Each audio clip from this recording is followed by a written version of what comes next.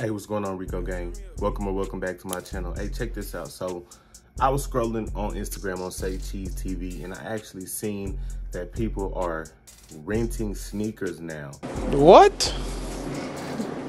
Bro, what are you talking about, man? Honestly, I peeped something about that a long time ago, bro, but I didn't really think nothing of it. I think I was early in my channel and didn't see the value in talking about it. But today, and not only are we gonna talk about it, we're gonna look at one of these websites.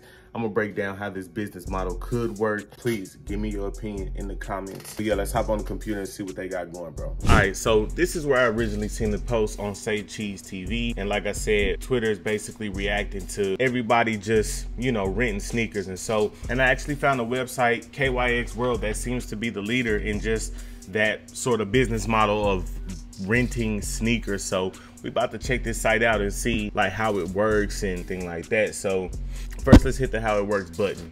All right, so how it works is I guess you select your pair of shoes with over 300 styles. It has you covered. We have carry the hottest releases choose your plan. Okay, rock kicks for as long as you want. That was one of the main things that I actually thought about first when I thought about renting sneakers is, is what if you're hard on shoes? You know what I'm saying? If I'm the person who owns the sneakers and I'm renting them out for me to let to rent it out, knowing that some people are hard on shoes, you know what I'm saying?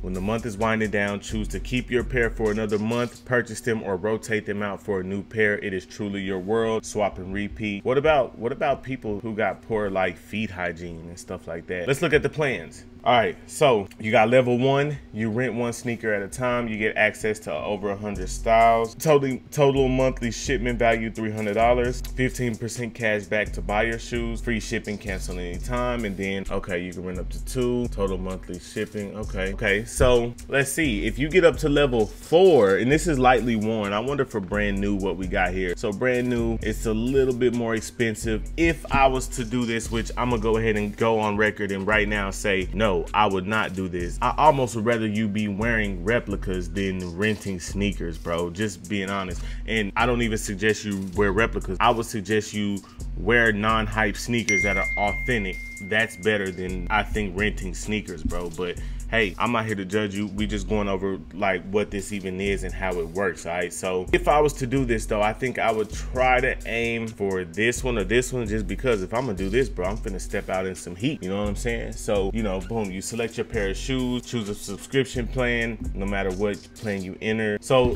I'm assuming they have some sort of authentication module then for as long as you, okay, we already read that. They do have an authenticity guarantee, free shipping, professional cleaning and sanitation, okay. That's not, hey, honestly, that ain't bad. Full rental protection. Wear them like you own them. We cover natural wear and tear. Curious to what that means? Read more here. As far as people that's hard on shoes, if you've ever seen Reshoevn8r, bro, Vick Almighty can take a shoe back from the dead, bro. Like a, a beater that was like, had no life and was ran over.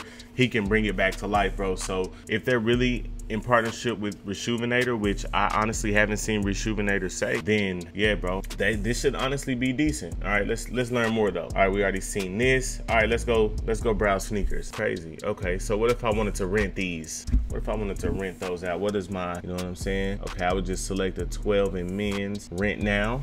You have one swap left, 102 left of next pickup plan. All right. So I would have to get at least this plan, the $129 a month plan, okay? I would have to get that plan, sign up, blur that out, and I wear a 12. Mm. All right.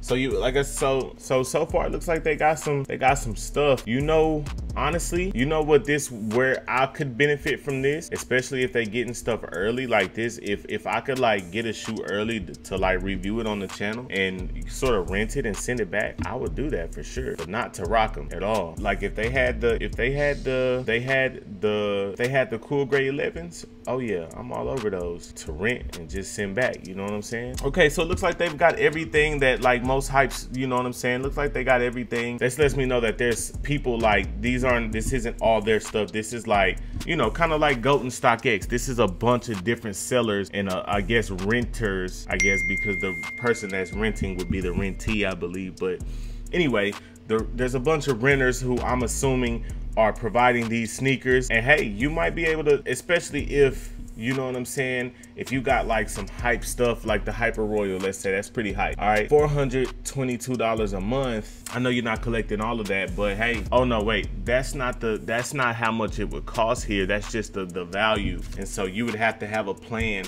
but still, even take that, bro. You could still like make a make. I'm pretty sure you could make some good profit as long as your shoes aren't like beat to hell, bro. Like, and that's my that would be my biggest fear of doing this business model is is okay.